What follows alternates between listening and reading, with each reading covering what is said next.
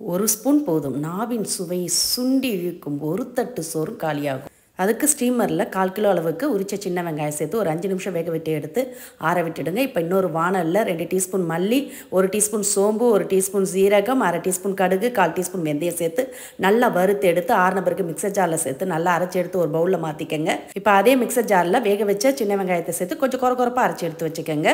இப்போ இதோட சேர்த்து செய்யறதுக்கு ரெண்டு பெரிய சைஸ் மாங்காவை கழுவிட்டு தொடச்சி எடுத்து இது மாதிரி பெரிய துளை உள்ள கிரேட்டரில் துருவி எடுத்து வச்சுக்கோங்க. முந்நூற்றி ஐம்பது கிராம் அளவுக்கு மாங்காவை சேர்த்து துருவி எடுத்து வச்சுருக்கேன் இப்போ அதை செய்யறதுக்கு வானலில் ரெண்டு டேபிள் ஸ்பூன் எண்ணெய் ஊற்றி சூடானதும் கருவேப்பிலை கொஞ்சம் பெருங்காயத்தூள் சேர்த்து நல்லா பொரிஞ்சதும் இதோட துருவி எடுத்த மாங்காவை சேர்த்து ஒரு ரெண்டு நிமிஷத்துக்கு வதக்கின பிறகு இதில் அரைச்சி எடுத்த வெங்காயத்தையும் சேர்த்து நல்லா கலந்துட்டு இதோட ஒரு டீஸ்பூன் உப்பு ரெண்டு டீஸ்பூன் மிளகாய்த்தூள் வறுத்து அரைச்ச மசாலா பொடியும் சேர்த்து நல்லா கலந்து விட்டு ஒரு ரெண்டு நிமிஷம் மூடி இறக்குனீங்கன்னா நல்லா எண்ணெய்லாம் பிரிஞ்சு வந்திருக்கும். இப்போ இதோட ஒரு டீஸ்பூன் வெல்லம் சேர்த்து நல்லா